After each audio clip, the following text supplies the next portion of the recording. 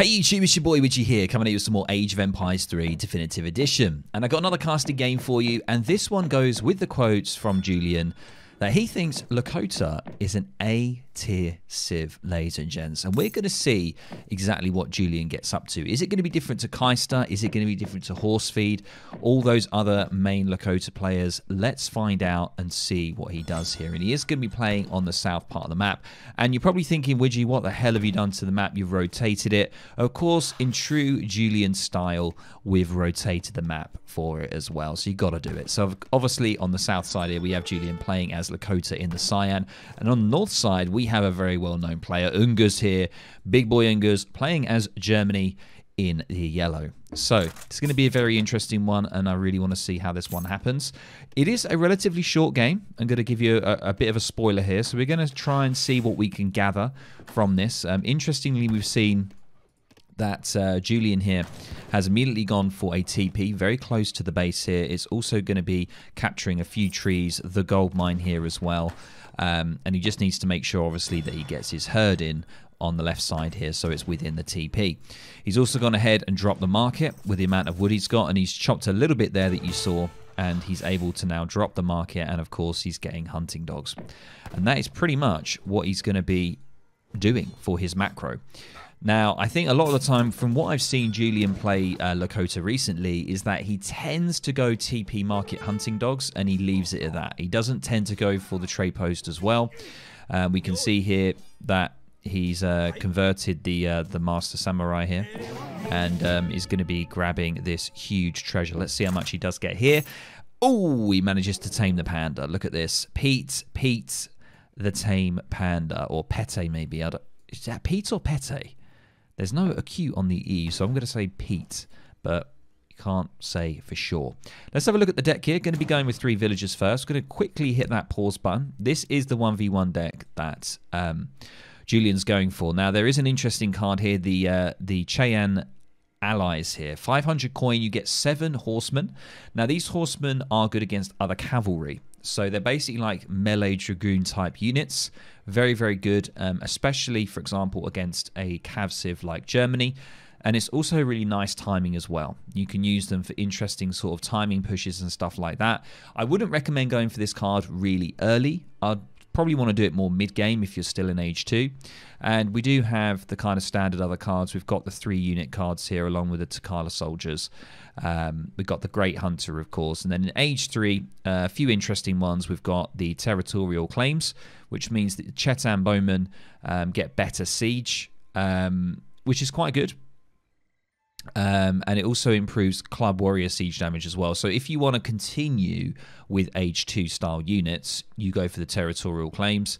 And of course, the Adoption one here, that's quite nice if you want to go for a big sort of Villager Boom. If you want to do a Villager Boom, you're probably going to ship a thousand wood, and then you're going to drop a uh, Community Plaza, and you're probably going to dance for... Um, the fertility dance so you can get your villagers out quicker. So that is an option as well. So there we go. Let's hit that play button. And let's have a quick look at Ungus here. Is uh, going to be going for the two settlers, of course. He's gone for the standard market and house opening. And his 1v1 deck is here. It's it's very standard. The only unusual thing is that he has an extra kind of um, mercenary shipment in Age 3. Heavy mercenaries in here. We have the German Black Riders, the Jaegers, and the Pandours.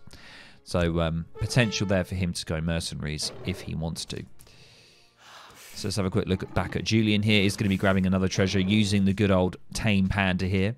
Going to be grabbing 75 wood, which is really good for age two because in transition you're going to be you're going to be chopping wood. So that's nice to see that. So 75 wood coming in, and now the age up is on. So we're just sub three minutes here. We're on the age up. And um, what is Julian going to be selecting? He's got 14 villagers, and he's going to be going for the chief. So the chief is the I believe it's the slow age up. I think it is the slow age up. Yeah, it's the slow age up, definitely. So the slow age up, which is going to give you 400 wood. So he's going to be now chopping some extra wood as well. And let's see what he does. Let's go Julian's vision here. We can see on the top left side, he's going to be grabbing another treasure. Going to be able to tame a lizard now. He's got a blue menagerie um, of units. He's got Pete the Panda, he's got a Samurai, and he's got Kerman the Pet Monitor Lizard. So he is absolutely going all out here. You can see that some of that wood that he's chopping, he's going to now be dropping a trade post in transition.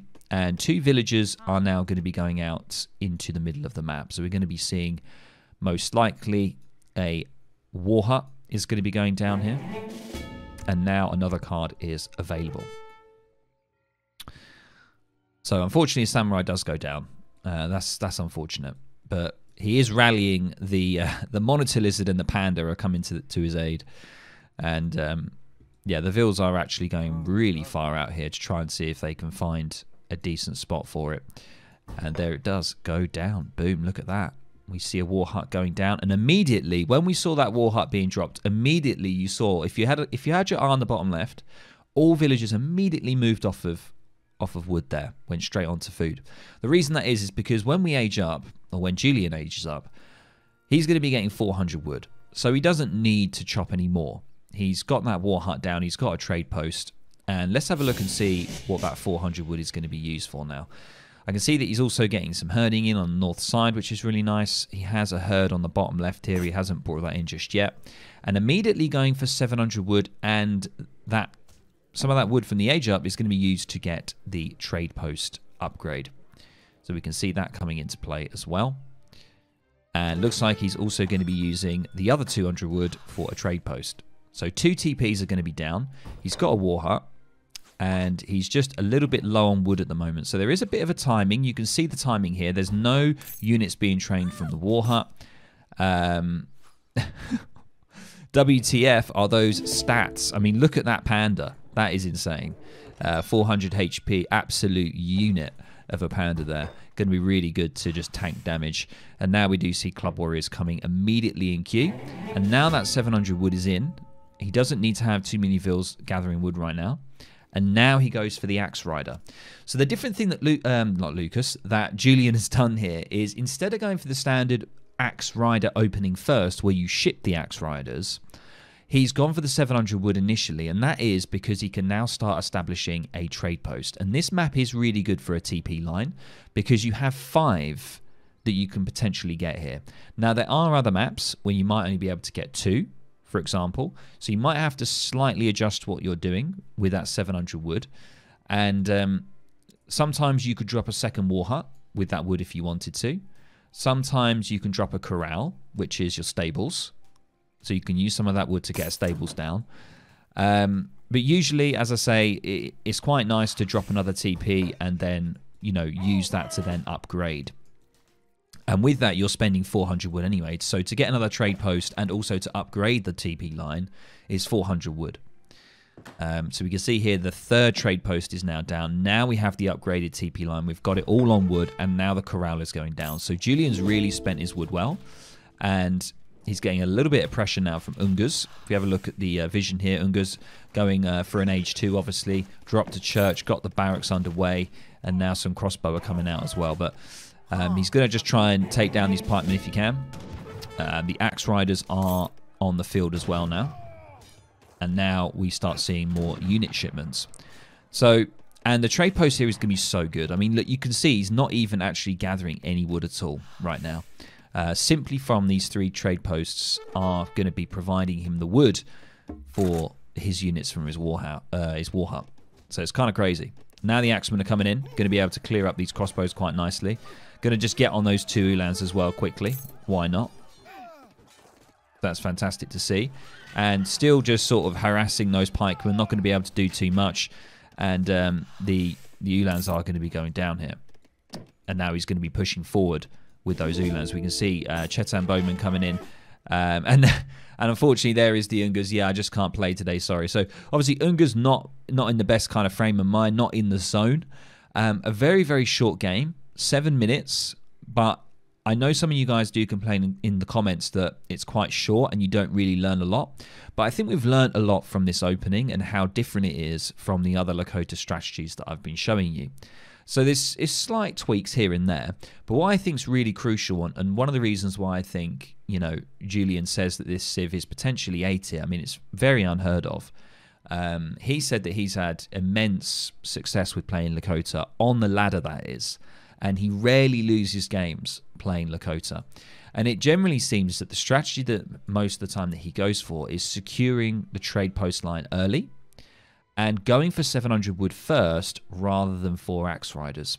And with that, as I say, he can drop a corral down and using that corral most of the time I, I kind of see what Julian does. He, he, tends to go for a few more unit shipments after his 700 wood, and then normally it's the 700 coin that comes into play.